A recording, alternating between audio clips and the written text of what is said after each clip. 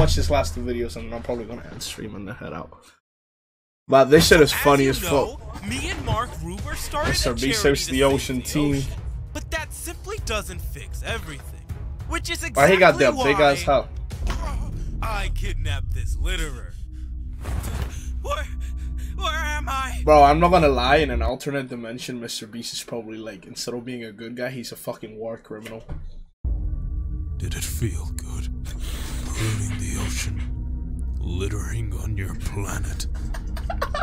it was just a water bottle. You make me sick. He spit on him, yo! It Was a water bottle? I have this challenge for him. If you can land this bottle flip, I'll let you go.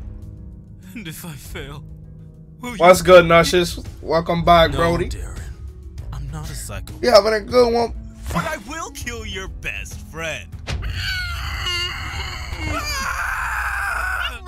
Yo, and Mr. Beast was evil, bro. You're gonna want to flip that bottle now. I would have landed it.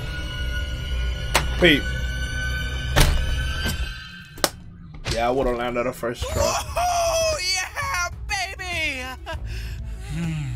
Congratulations. Your best friend still dies. Now, you can leave with your best friend alive, or you can risk it all for this iPhone 4. iPhone 4. An iPhone? Yeah. what the f- An iPhone I think I gotta 4. do it, man. I mean, like, I've been looking to upgrade my phone. Yo, he gonna kill his best friend for an iPhone with my gun on 4. This one. That's crazy. He not landing that shit.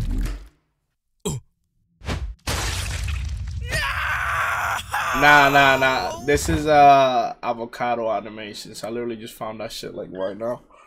Adam told me to watch like the Belma shit they did, and that shit was so fucked. I had to keep watching the video.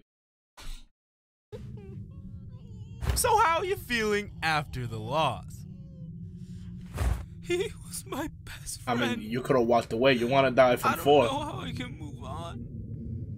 Oh, well now you're making me want to cry. Wait, so I get to go, right? No, you're still littered. Oh my god. My fellow avocados, this Oh is a call to